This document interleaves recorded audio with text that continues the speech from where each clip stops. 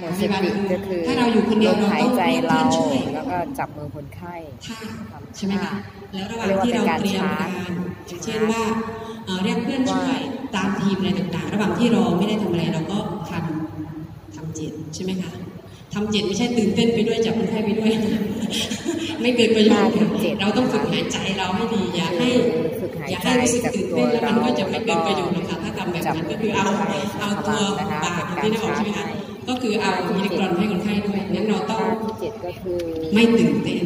นะคะ แล้วเราก็หายใจให้ถูกตามที่อาจารย์บอกใช่ไหมคะเราถึงจะชาร์จไฟให้คนไข้ได้นะคะนี่อาจารย์มาแล้วนะคะ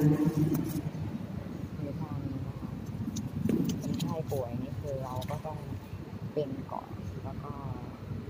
ถึงจะเป็นช่วยชาร์จ